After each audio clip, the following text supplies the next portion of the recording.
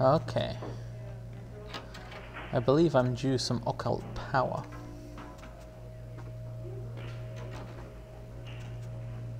Nagaraja. According to a loading screen tip. Yes. That's what Pisha is. Yes. This is genuine and of use to me. There is something resonating from it. A whisper. I will give you this in trade. It is known as the Odious Chalice. It swells with spilled blood and offers its bloat to its owner. I see. Thank you, I think. I do like accumulating power. Hey, what's... Oh man, I missed this before. I bet I know where this goes. It's that one grate I couldn't open. Handy. Well, I wish I'd seen that earlier. Okay, so... The Odious Chalice. Nice. As long as I murder people, it will fill up with blood. That, uh... I'm not sure that's a magic item, per se. It's just kind of a blood bucket, but uh, it'll probably be useful. So... Bloodpire, the Bloodlines, Bloodscarade. I've been to the museum, looking for an ancient sarcophagus. There I found only Beckett, the wandering gangrel scholar, who assures me that the sarcophagus does not contain an antediluvian ancient super vampire, which is good, uh, but it's also been stolen, which is bad.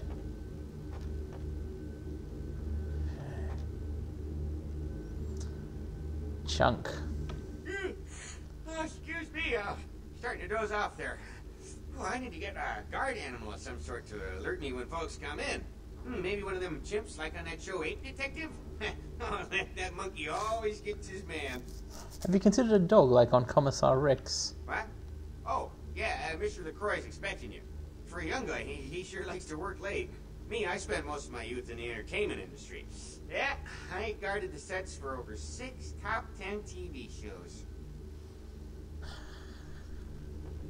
Oh my god. Over six. So, seven? That logo. I wonder what LaCroix's front is. Like, uh, what is this building officially? Maybe it doesn't have an official purpose. He's arrogant enough for that. Alright. Let's join the prince in looking out wistfully over the city and pretend that I'm his loyal minion and so on. It is a nice view. I'll give him that.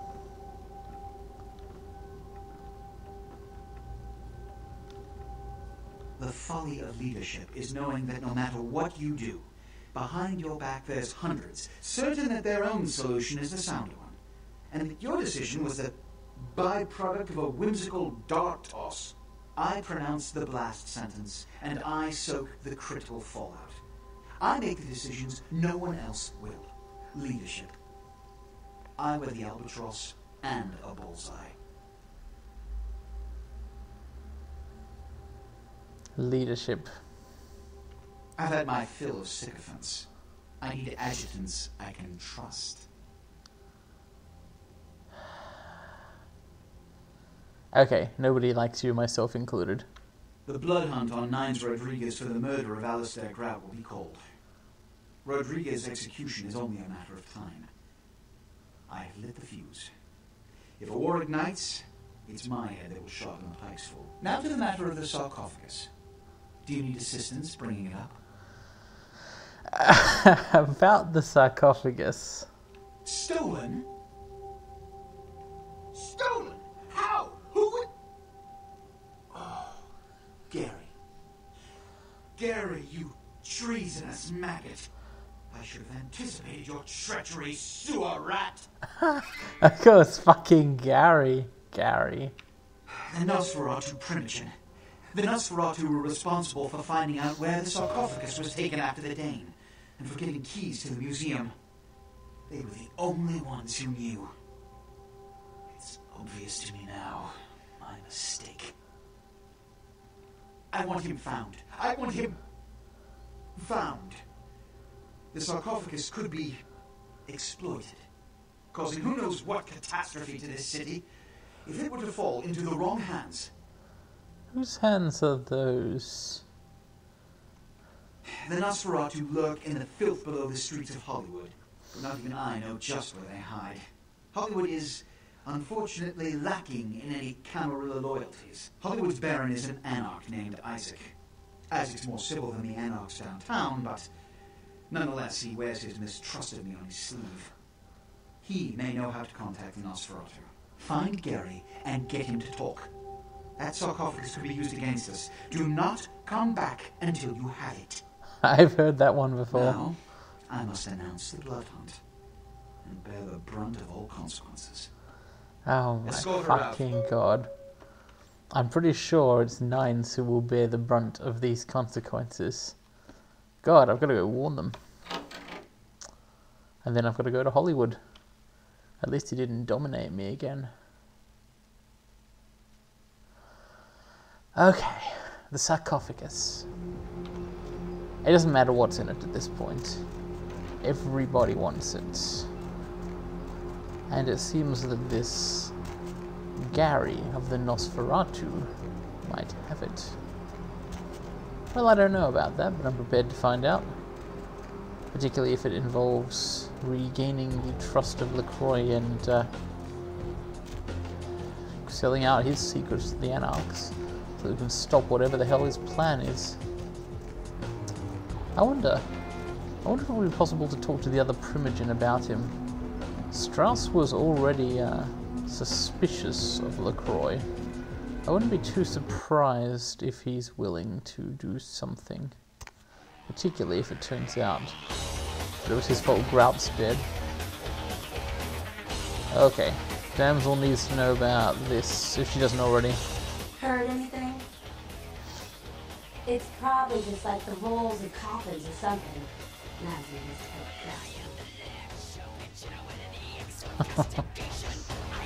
Or maybe Jack will be more interested. Jack seems kind of plugged in, actually. He knows a lot about what's going on. I heard you were down poking around the museum. LaCroix wants that coffin bad. Yes, he does. Seems like he has a lot riding on that sarcophagus. He's such a fierce bug in that powdered wig. It's a wig? Oh my god.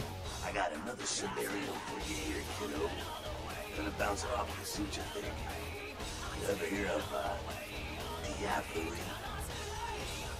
No, I have not.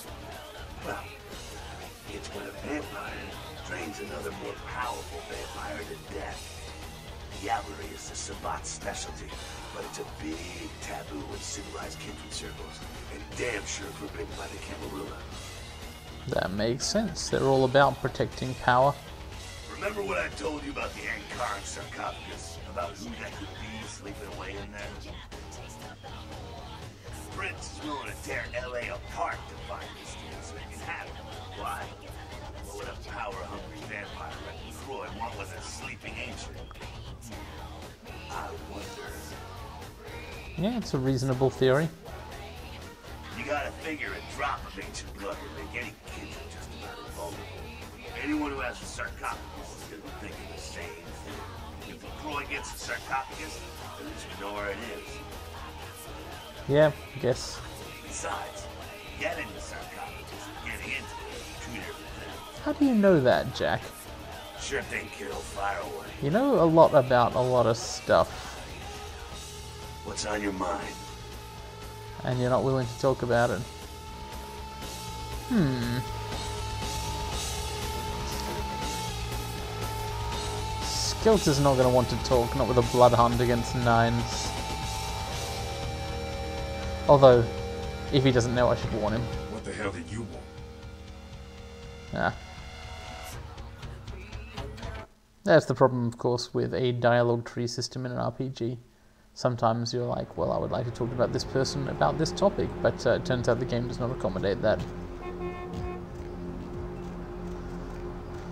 Okay. Looks like I'm going far away. All the way. Down in LA.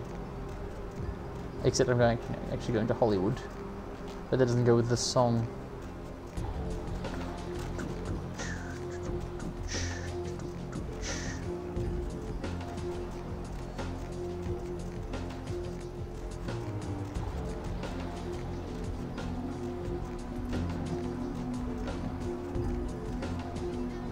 Going somewhere? Yes. Hey, it's a big circle on the map. You know what that means. Hub level.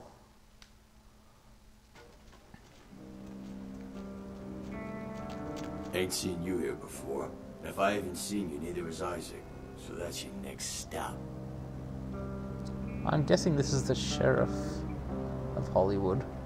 Isaac's in the jewelry store at the end of the street. Consider yourself invited. Hmm.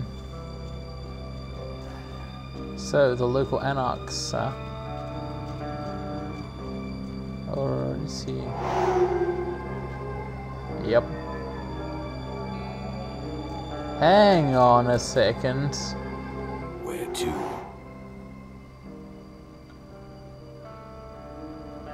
Holy shit. Okay. He's a vampire.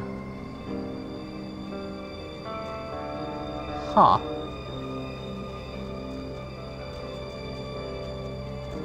Well, I guess he's not going anywhere. Jewelry store. But which end of the street? Talkie didn't say.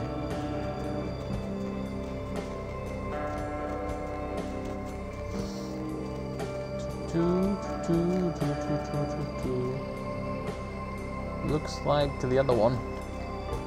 Interesting stuff going on here. Some sort of crypt. Club Vesuvius. Check cashing. Aspol Adult Bookshop, I assume. Metalhead Industries. Red Spot. Looks like there's all sorts of stuff going on in Hollywood. Sewers as usual.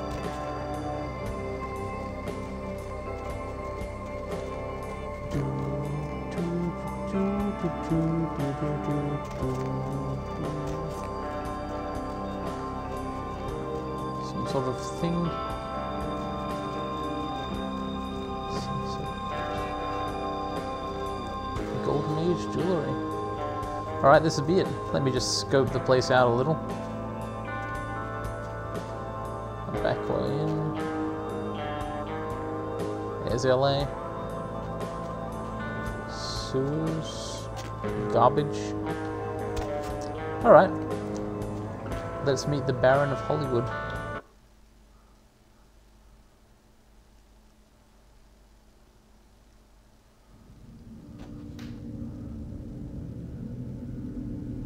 All doors I see lead to Rome.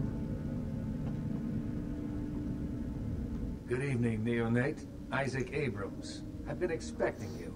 Seems the wooden soldiers of the Camarilla shuffle in a little too often these nights. That baby-faced two-bit Prince LaCroix got something to say to me? Mm-hmm. Nosferatu.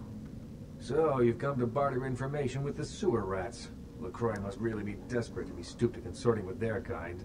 And asking for my help, of all peoples. Nevertheless, I need that help. Perhaps. However, before we discuss how I might help you, there is the matter of tribute. I see. You know, as soon as I heard that the Anarchs had barons, I started thinking maybe they're not 100% different to the Camarilla. Call me old-fashioned, but this is my barony, and as is tradition, a token of respect must be paid.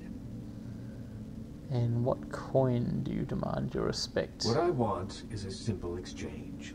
Last week I paid for a certain item, a movie, and this evening I got an email saying that the seller is ready to deliver it. Unfortunately, he's become a bit paranoid all of a sudden. Won't meet me in person, won't drop it off, won't even answer his phone. Says he'll send the location of the pickup to a computer in the nearby internet cafe tonight. You see where I'm going with this? Were you perhaps embraced long enough ago that you don't know how to use computers? Speaking of paranoia, no. Simple pickups, all that's involved. Go to the Ground Zero Internet Cafe. Look for a directory named Joseph K. and use the password Kafka. There'll be an email in there that will specify a nearby location. Meet the contact, pick up the item, come back. Not too painful, right? Hey, yeah. Excellent. In the meantime, Consider yourself a welcome guest in my barony. Welcome to Hollywood. Well, I'll do it, um, as has become the norm. But it can't be a very important video, I think, if I am being trusted to pick it up. He'd send one of his own people if he really cared about whether he got it or not. So the Anarch movement. Independent organizations, but the thing is, they follow basically the same laws as the Camarilla, don't they? I'm all for Nines Rodriguez over Prince LaCroix for sure, but uh, politically, I don't think the Anarchs have that much of a claim to being better on a large scale. Alright. Looks like it's time to take a. Oh my gosh, is that you? Everyone was worried sick about you. When you didn't show up and didn't call and nobody knew anything about what happened to you, we thought you were dead. Are you okay? I. You know what? Never mind. We have to Hey. help you. What? It's me, Samantha. Don't you. Did you suffer amnesia? Is that it? Ah, shit. Let me make a call. We'll get everybody together. We can talk. Maybe you'll remember something. The important thing is that they know that you're alive. I don't know if. Okay, let's assume that this person really does know me. I don't remember my past, so it's entirely possible. This sucks.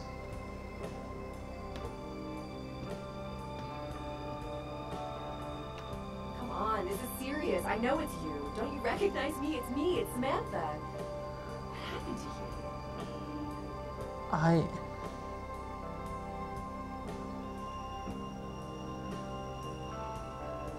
Did I have friends at one point? Not anymore. It is you. I don't think you know what you're saying. We're gonna help you. You'll see. Everybody just Who's- wants to see you safe and back to your old self. Wait here. I- I'm gonna make a call. Hmm. It's No. No, no, no, no, no, no, no. Stop, stop. It's gonna be okay. Shit.